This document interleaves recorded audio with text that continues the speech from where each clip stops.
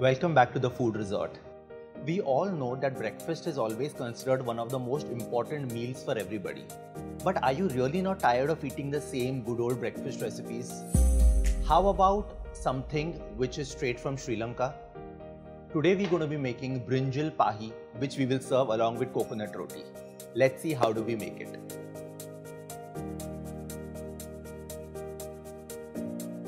As you can see, I have chopped these brinjals into bite-sized pieces. I'm going to be adding some turmeric and some salt. Let's mix it well and keep it aside for half an hour. Let us start making the paste. I'm using a good spoonful of mustard seeds chopped garlic, chopped ginger, some curry powder, at least 2 tablespoons of sugar, some salt and I'll be adding some vinegar into it. Now this will be made into a fine paste. We shall now be making the dough for the coconut roti. I'm using an entire bowl of grated fresh coconut. For one bowl of coconut, I will be using two bowls of atta. In this goes some salt, chopped onion, little red chili powder, some turmeric, some fresh coriander. Let us mix it well. Before we add any water, let us try and use the maximum moisture from the coconut and onion.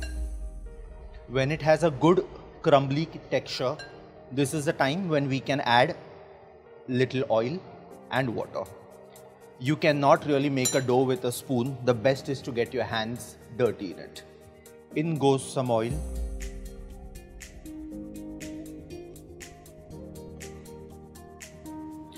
And now some warm water to make the dough.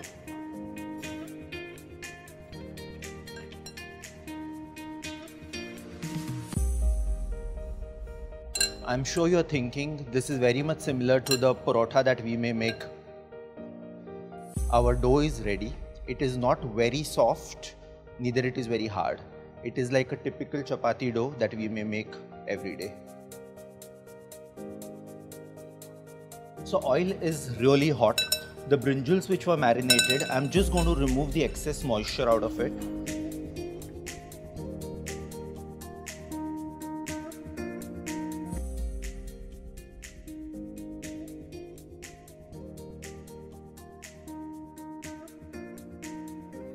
You can see that the brinjal is nicely fried.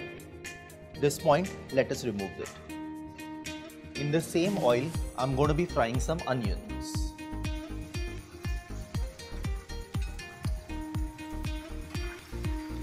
Onions are done. We don't really want their color to get changed. Same oil, let us have some curry leaves and green chilies being fried.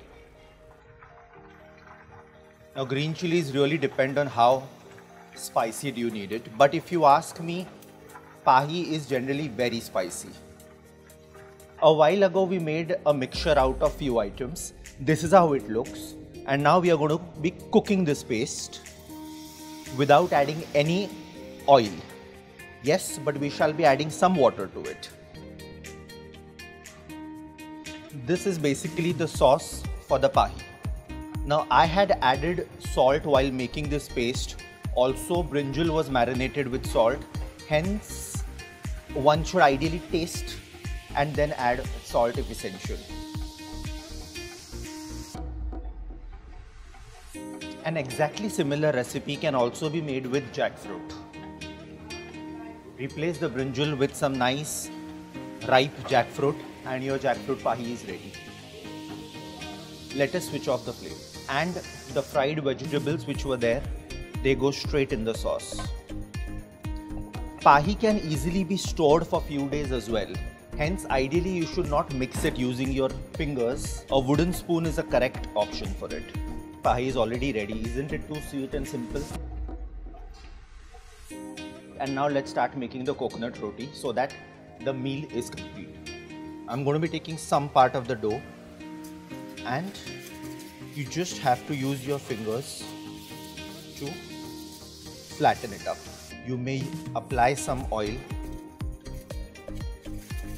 tawa is medium hot and I'm going to take the coconut roti and straight it goes on the tawa.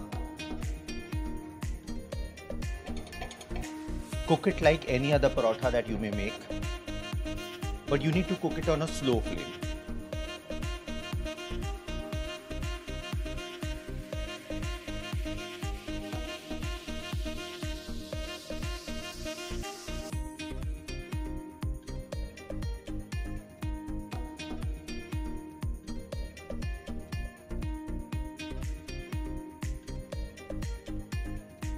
So how do you like the brinjal पाही कुछ हद तक तो ये बैंगन का अचार ही था। ज़रूर बनाइए and if you like it press on the bell icon and follow my food channel